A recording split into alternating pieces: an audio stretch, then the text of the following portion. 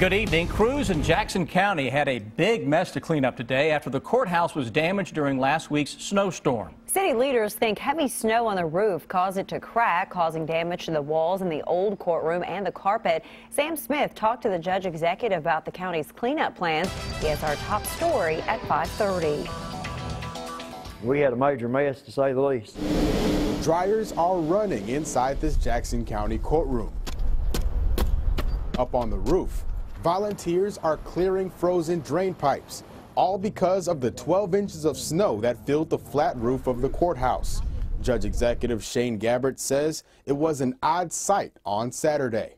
That water was coming down just like you would spray something with a water hose, and it was just running out the top of that window frame. The courthouse was not the only building to have water issues. The new Judicial Center also had a water leak. Yeah, we found out this morning, discovered a leak on the third floor, the very top, and uh, it's minimal, but it, it, if it ain't repaired, it's going to be bad.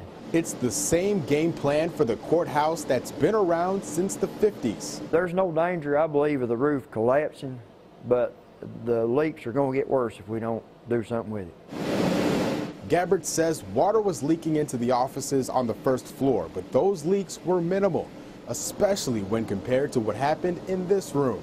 Uh, that water was back to here. Gabbert says this leak could have been worse.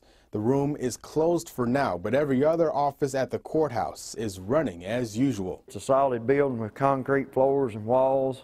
If it had been wood, we'd have sure been shut down today. In Jackson County, Sam Smith, WKYT.